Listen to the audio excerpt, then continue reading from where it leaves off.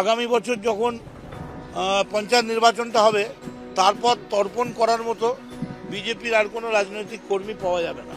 এই যে আমাদের প্রণম্য মানুষ যাদের ছবি দেখছেন, যাদের ছবি দেখে বাংলার মানুষ একেবারে বিতস্তব্ধ হয়ে গেছেন, তারা সুস্থ থাকুন, পরিবারে ভালো থাকুন, দীর্ঘায়ু কামনা করছি।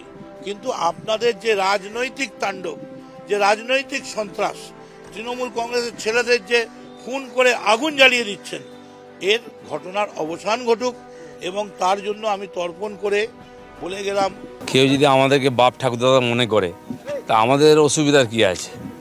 আমরা কাউকে তর্পণ করতে যাইনি এখন নিজের পূর্বপুরুষের কথা ভুলে গেছে। কিন্তু আমাদের ছেলেপুলে এত উচ্ছৃঙ্খল হবে আমরা কোনোদিন ভাবিনি। যে কোনো পশ্চিমবঙ্গবাসী তো অন্তত এইটা চাইবে যে ভারতবর্ষের বিভিন্ন প্রান্তে গিয়ে বাংলার সম্পর্কে মানুষের যে ধারণা ছিল আজকে মানুষ আমাদের রাজ্যকে থেকে হাসছে।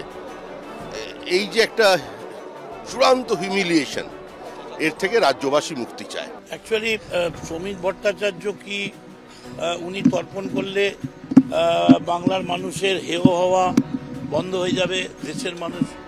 শ্রমিক ভট্টাচার্য আগে নিজের জীবনে একবার ইলেকশনে জিতেছিলেন, আগে নির্বাচনে আসুন, মানুষকে ফেস করুন।